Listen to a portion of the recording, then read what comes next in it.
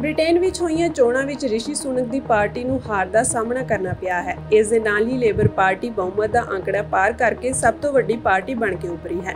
650 ਸੀਟਾਂ ਤੇ ਹੋਈਆਂ ਚੋਣਾਂ ਵਿੱਚ ਲੇਬਰ ਪਾਰਟੀ ਨੇ 410 ਸੀਟਾਂ ਤੇ ਜਿੱਤ ਹਾਸਲ ਕੀਤੀ, ਜਦਕਿ ਕੰਜ਼ਰਵੇਟਿਵ ਪਾਰਟੀ ਸਿਰਫ 131 ਸੀਟਾਂ ਤੇ ਹੀ ਸੀਮਿਤ ਰਹੀ। ਹੁਣ ਲੇਬਰ ਪਾਰਟੀ ਦੇ ਕੀਰ ਸਟਾਰਮਰ ਬ੍ਰਿਟੇਨ ਦੇ ਅਗਲੇ ਪ੍ਰਧਾਨ ਮੰਤਰੀ ਹੋਣਗੇ। 61 ਸਾਲਾ ਕੀਰ ਸਟਾਰਮਰ ਆਪਣੇ ਆਪ ਨੂੰ ਮਜ਼ਦੂਰ ਵਰਗ ਤੋਂ ਦੱਸਦੇ ਹਨ, ਉਹਨਾਂ ਦੇ ਪਿਤਾ ਇੱਕ ਸੰਦ ਬਣਾਉਣ ਵਾਲੇ ਅਤੇ ਮਾਤਾ ਇੱਕ ਨਰਸ ਸਨ।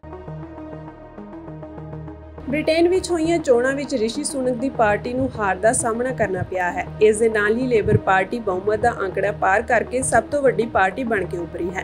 650 ਸੀਟਾਂ ਤੇ ਹੋਈਆਂ ਚੋਣਾਂ ਵਿੱਚ ਲੇਬਰ ਪਾਰਟੀ ਨੇ 410 ਸੀਟਾਂ ਤੇ ਜਿੱਤ ਹਾਸਲ ਕੀਤੀ, ਜਦਕਿ ਕੰਜ਼ਰਵੇਟਿਵ ਪਾਰਟੀ ਸਿਰਫ 131 ਸੀਟਾਂ ਤੇ ਹੀ ਸੀਮਿਤ ਰਹੀ। ਹੁਣ ਲੇਬਰ ਪਾਰਟੀ ਦੇ ਕੀਰ ਸਟਾਰਮਰ ਬ੍ਰਿਟੇਨ ਦੇ ਅਗਲੇ ਪ੍ਰਧਾਨ ਮੰਤਰੀ ਹੋਣਗੇ।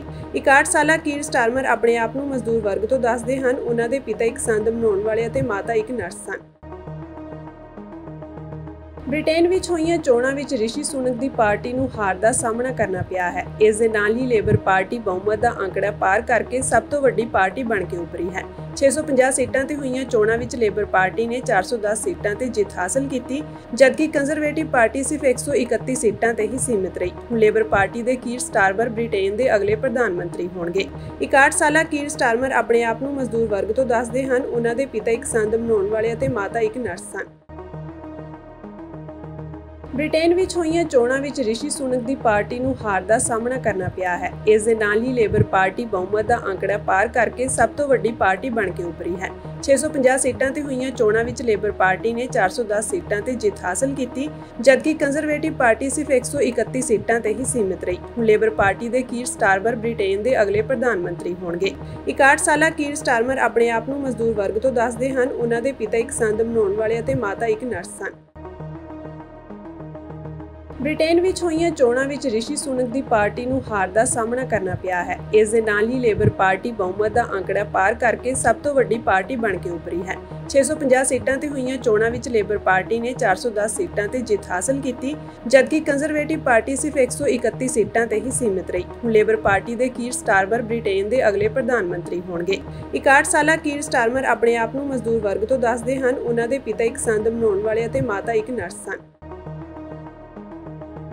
ਬ੍ਰਿਟੇਨ ਵਿੱਚ ਹੋਈਆਂ ਚੋਣਾਂ ਵਿੱਚ ਰਿਸ਼ੀ ਸੁਨਕ ਦੀ ਪਾਰਟੀ ਨੂੰ ਹਾਰ ਦਾ ਸਾਹਮਣਾ ਕਰਨਾ ਪਿਆ ਹੈ। ਇਸ ਦੇ ਨਾਲ ਹੀ ਲੇਬਰ ਪਾਰਟੀ ਬਹੁਮਤ ਦਾ ਅੰਕੜਾ ਪਾਰ ਕਰਕੇ ਸਭ ਤੋਂ ਵੱਡੀ ਪਾਰਟੀ ਬਣ ਕੇ ਉੱਭਰੀ ਹੈ।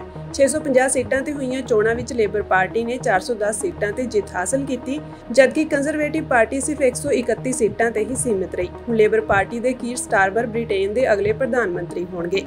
61 ਸਾਲਾ ਕੀਰ ਸਟਾਰਮਰ ਆਪਣੇ ਆਪ ਨੂੰ ਮਜ਼ਦੂਰ ਵਰਗ ਤੋਂ ਦੱਸਦੇ ਹਨ, ਉਹਨਾਂ ਦੇ ਪਿਤਾ ਇੱਕ ਸੰਦ ਬਣਾਉਣ ਵਾਲੇ ਅਤੇ ਮਾਤਾ ਇੱਕ ਨਰਸ ਸਨ।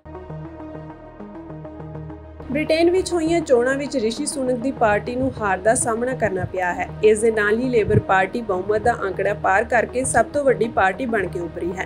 650 ਸੀਟਾਂ ਤੇ ਹੋਈਆਂ ਚੋਣਾਂ ਵਿੱਚ ਲੇਬਰ ਪਾਰਟੀ ਨੇ 410 ਸੀਟਾਂ ਤੇ ਜਿੱਤ ਹਾਸਲ ਕੀਤੀ, ਜਦਕਿ ਕੰਜ਼ਰਵੇਟਿਵ ਪਾਰਟੀ ਸਿਰਫ 131 ਸੀਟਾਂ ਤੇ ਹੀ ਸੀਮਿਤ ਰਹੀ। ਹੁਣ ਲੇਬਰ ਪਾਰਟੀ ਦੇ ਕੀਰ ਸਟਾਰਮਰ ਬ੍ਰਿਟੇਨ ਦੇ ਅਗਲੇ ਪ੍ਰਧਾਨ ਮੰਤਰੀ ਹੋਣਗੇ।